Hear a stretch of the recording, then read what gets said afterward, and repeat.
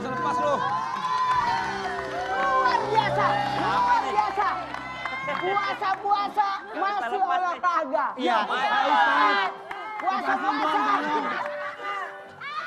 Biasanya kan, saat setiap saya datang pasti dia kabur. Iya. Jangan kabur. Pak Ustadz lepasin dong Pak Ustadz. Jangan kabur. Emangnya setan diikat. Karena alhamdulillah di bulan suci Ramadan setan itu diikat. Ingat, badan sehat, ibadah lancar. Badan sehat, ibadah lancar, setan diikat. Dia kali ini dia dengan tausiah. Selama ini dia kabur terus, saya pegang. Ah, jangan panas Pak Ustadz. Panas, panas, panas, panas, panas, panas, tani panas, panas, panas, panas, panas, panas. Lama-lama gue tonjok kombin ya. Jadi, Dari tadi gua berbicara tentang badan yang sehat, karena Allah menyukai hambanya yang kuat. Jadi jangan pernah kita menyepelekan karena ketika orang ibadah itu butuh kesehatan. Ya. Puasa butuh sehat, Ya. salat butuh sehat. Bahkan kita salat malam, bahkan ada ibadah yang luar biasa. Ibadah ini butuh tenaga yang luar biasa, yakni ibadah haji. Dan bahkan bagi orang yang tidak sehat karena sakit, boleh ada keringanan untuk tidak eh, menjalankan ibadah puasa, tapi nanti membayar utang puasanya. Maka dari itu, jaga kesehatan kita, meskipun bulan suci Ramadan, kita tetap berpuasa.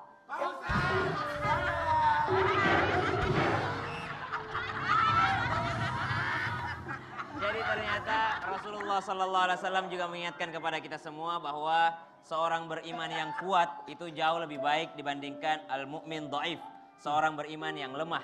Karena kita butuh kekuatan, ibadah kita butuh kekuatan, bahkan disebutkan tangan di atas selalu lebih baik dibandingkan tangan di bawah. Dan tangan di atas nggak selalu berbicara tentang materi saja. Tangan di atas maksudnya yang mampu untuk membantu orang lain. Bagaimana kita bisa membantu orang lain jikalau kita dalam keadaan lemah? Maka kita membantu orang lain berarti kita juga harus memiliki badan yang kuat, badan yang sehat. Karena ternyata baginda Nabi Shallallahu Alaihi Wasallam memulai peperangannya di usia 40 tahun bahkan lebih daripada itu. Dan di usia 60 tahun Rasulullah SAW masih menunggangi kuda. Orang yang menunggang kuda bukan orang sembarangan. Dalam keseimbangan baginda Nabi Shallallahu Alaihi Wasallam menjaga pola makannya, maka di situlah terletak orang beriman yang kuat lebih baik daripada orang beriman yang lemah. Bahkan, mohon izin, mohon maaf, ada satu hal yang buat kita semangat lagi. Jikalau orang berpuasa, jangan perlihatkan lemas. Jangan perlihatkan lelah. Karena kita lagi dipantau bahwa ini ambaku. Kuat.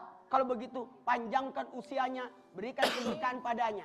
Bahkan kita sebagai orang tua, sebagai guru, sebagai public figure, perlihatkan semangat dalam beribadah. Jangan perlihatkan lemas, Ya. perlihatkan kekuatan. Karena kenapa? Ada yang menyertai kita. Makanya perlihatkan semangatnya, jangan ah, mengeluh-mengeluh. Kata kata Allah, malaikat matikan saja tahun depan itu. Jadi perlihatkan semangat, perlihatkan kekuatan. Ketika kita memperlihatkan kekuatan, maka berlipat ganda pahala. Amal itu kan ada empat. Ucapan, perbuatan, pikiran. Tambah satu, semangat. Apa? Semangat. Perlu untuk bersemangat. Ucapan kalau kita cuma berkata, Assalamualaikum. Assalamualaikum warahmatullahi wabarakatuh. Gitu kan? Ya. Semangat. Semangat. Jangan lemas. Karena orang akan melihat dari dari- dari atas apa yang kita lakukan, bukan dari apa yang hmm, mohon maaf. Jamaah yang di rumah, jangan pernah lemas dalam beribadah karena bisa jadi nilai ibadah kita pun dilihat kualitasnya daripada semangat dalam beribadah. Allahu Akbar. Allahu Akbar. Kan itu luar biasa semangatnya dibanding Benar Pak Ustadz. Setuju Pak Ustadz. Setuju. Ya, ya, ya, ya. Jadi harus Semangat, semangat. semangat, semangat. Semangat. Iya, iya, iya. Pak Ustadz, Semangat. ngomong-ngomong tuh. Sini lu, sini, sini, sini. Kenapa sih? ngomong-ngomong semangat. Aktif Kenapa? banget. Ini ngomongin semangat, semangat. Tapi ke sini malah lebih semangat dibanding. Ini ada yang lebih semangat nih. Semangat. Mana sih? Nih, ada yang lebih semangat mau bagi-bagi hadiah tuh. Lihat tuh. Al Anwar tuh. Gimana, Sar? Tuh.